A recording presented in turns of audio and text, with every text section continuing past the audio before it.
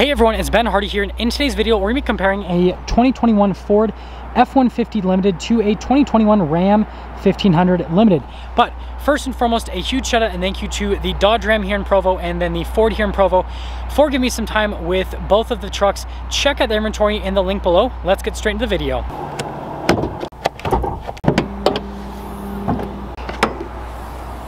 Now let's go into the hoods of both of the trucks. Starting over here with the F-150 Limited, we have a twin turbo 3.5 liter V6 that goes through a 10 speed automatic transmission. Fuel economy is 18 around town and then 23 on the highway with power outputs being 400 horsepower and then 500 pound feet of torque. Coming over to the Ram 1500 Limited, we have a naturally aspirated 5.7 liter Hemi V8 that goes through an 8-speed automatic transmission. Fuel economy is 17 around town and then 22 on the highway since this has the e-torque system. And then power outputs are 395 horsepower and then 410 pound-feet of torque.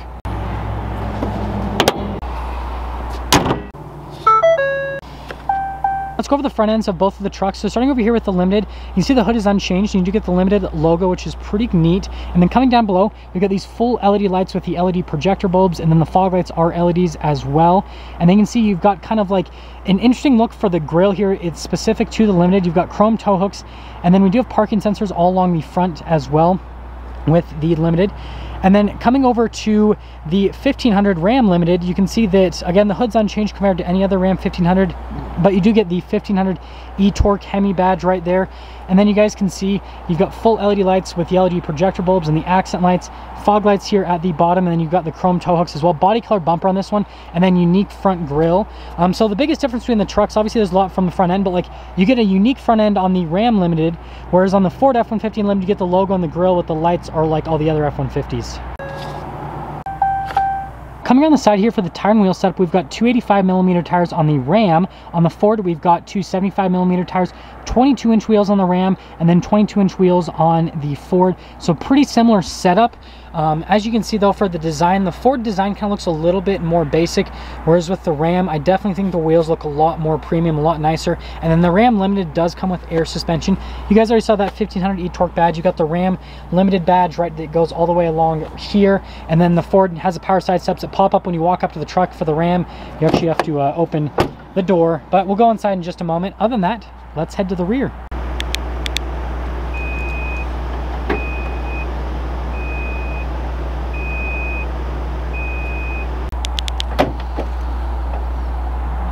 Over the backs of the truck. So first off, from a payload capacity standpoint, the Ram is 1,141 pounds. The F-150 is 1,535. Coming over to the Ram itself, you can see that you've got full liner here over the whole bed. You've got LED bed lights here on the back of the Ram, and then you've got little sliders here and cargo tie-down hooks, all that kind of stuff. And then this is the shorter sized bed. Now coming over to the F-150, you guys can see that you've got the plastic covering right here again. You've got the full spray and bed liner. LED lights, you got the cargo tie-down hooks, full power outlet here in the F-150. Notice that the cargo lights are LED on the F-150, whereas in the Ram, they are not, but that's the bed of the F-150, and that's the bed of the Ram.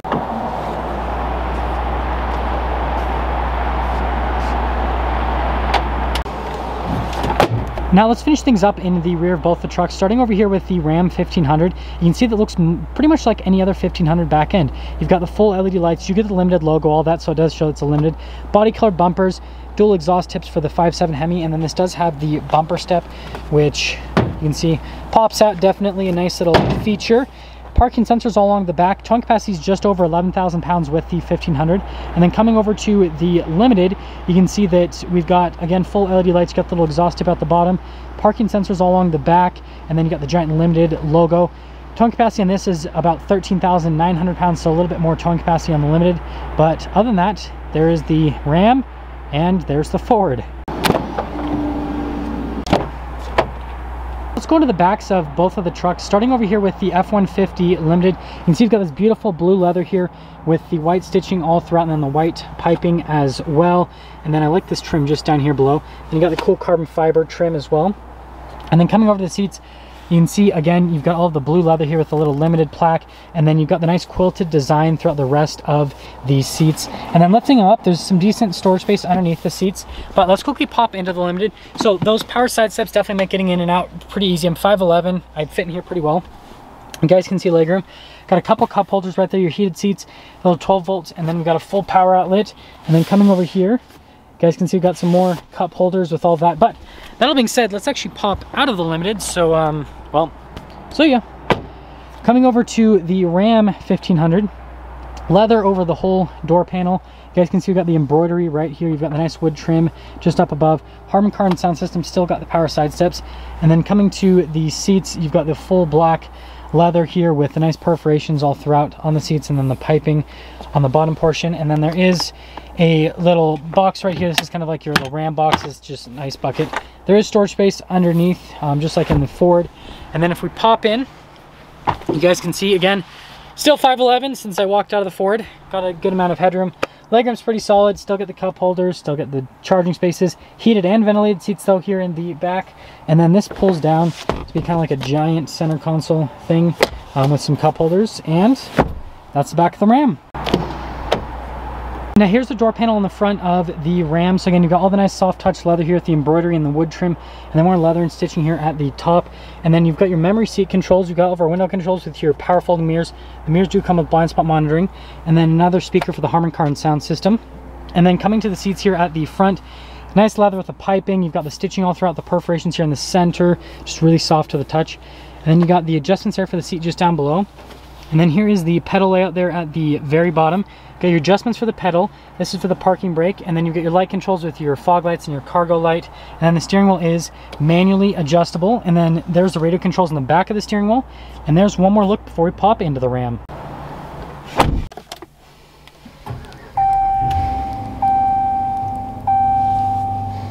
Quickly go over the interior here on the Ram. So you've got the wood at the steering wheel with a nice soft touch leather on this part of the steering wheel and then the stitching all throughout. And then you can see you've got your adaptive cruise control over here with your regular cruise control, your gear limiter, and then you got your voice command phone controls, controls for the center screen, radio controls are on the back. And then you guys can see you've got a little stock there for the turn signal and then the windshield wipers. Beautiful steering wheel overall, love the wood at the top. And then coming here into the center screen, you guys can see that you've got the RPMs on the left side, on the right side, you've got the speed, and then you do have a little screen where you can scroll through a couple of different uh, menus just give you different bits of information on the truck. Now going from the beautiful blue gauges, we do have the 12 inch uh, display here. First off, we'll pop it into reverse. You guys can see the backup camera. You do have a backup camera with a bird's eye view and it does have a bunch of other viewpoints through with the truck. And then you guys can see the backup camera. You can zoom in on the receiver hitch. As for the rest of the screen, you got analog controls on either side of the screen, and then you got your little controls here for like shortcut buttons at the bottom. Like you can go to the heated ventilated seats from that little shortcut right there. You can deploy the steps at any time if you'd like. Um, the one thing about this screen is the heated and ventilated seats are only in the screen. There's no analog buttons for them anymore. And then as for the rest of the screen, like I said, really good response time. I feel like it's integrated very nicely. At the top of it, you've got your lane departure assistance and then your parallel and perpendicular parking assistance, and then your hazard lights right there. And then we do have the controls here for the parking sensors, turn them on or off, your tow haul mode, your stability control. This is for the air suspension, and then the trailer brake controls are right here. And then we do have our little drive line select so you guys can see it's the dial shifter. You've got your two-wheel drive, your four-wheel auto, your four-wheel high, your true neutral, and then your four-wheel low, and then the auto stop start just down below. Now this whole area in the Ram, we do have the nice center console with the stitching, and then you can see you've got the limited logo right there with the nice leather and the embroidery on top. And then opening up, we've got the felt inside with the USB. Measuring tables on that part of the back, and then sliding this backwards and forwards. You guys can see it's pretty neat right there. Got your wireless phone charger, and then we do have a couple USBs for charging, then a full power outlet at the bottom.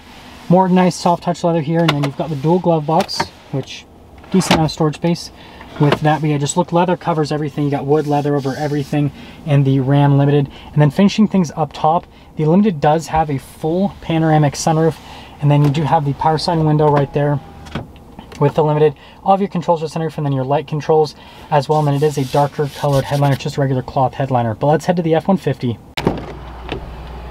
here's the door panel at the front of the f-150 limited so first off you guys can see we've got the nice stitching and the piping all throughout with the soft touch leather and the carbon fiber trim all of our window controls right here with your mirror adjustments and everything and then your power folding mirror button and they do have blind spot monitoring here is the memory seats and then you got the door lock and unlock and then you got the Bang & Olufsen sound system and then there is a speaker in the seats. You've got the little limited plaque here with the nice stitching and kind of like the quilted design here with all of the soft touch. The seats are really soft, by the way.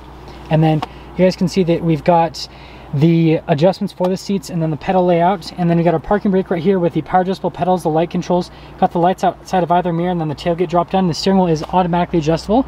And there's one more look before we pop in.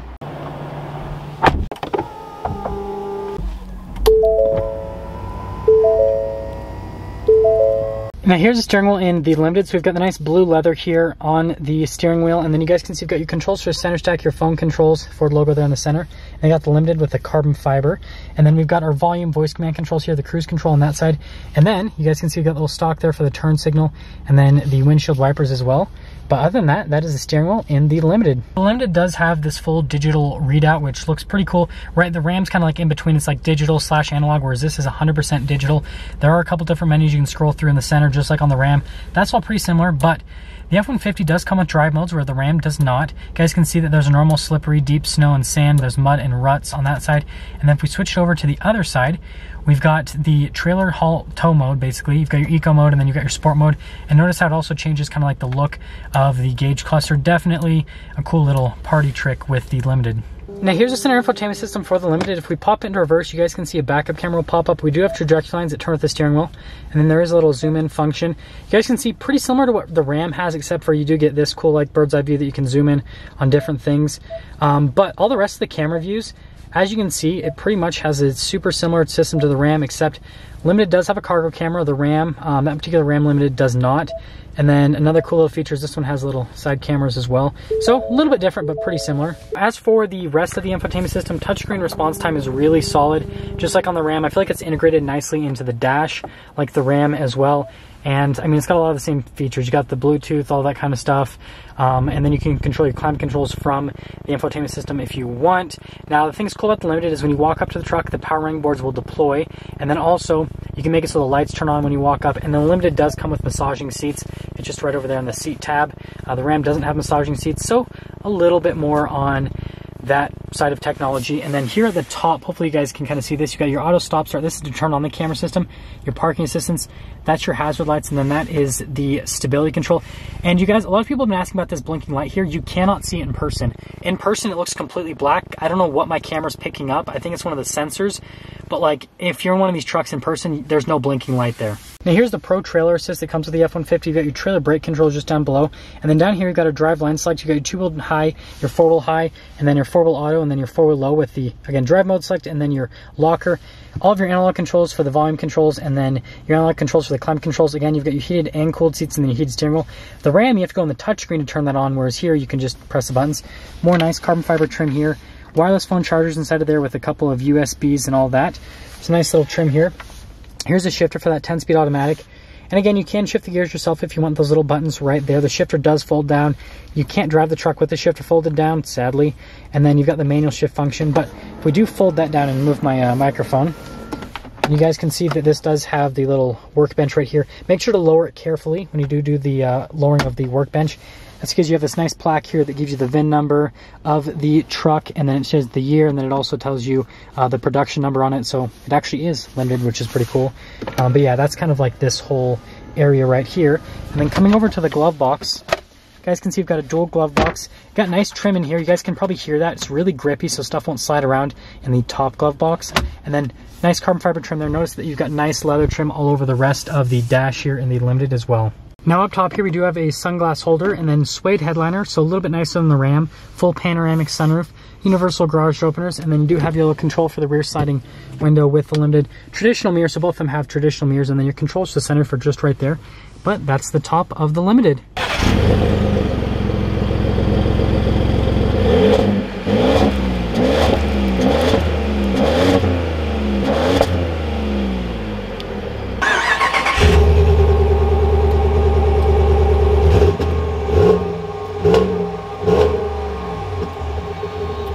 Now that we're done going over the interiors and everything on the trucks, let's get into the pricing.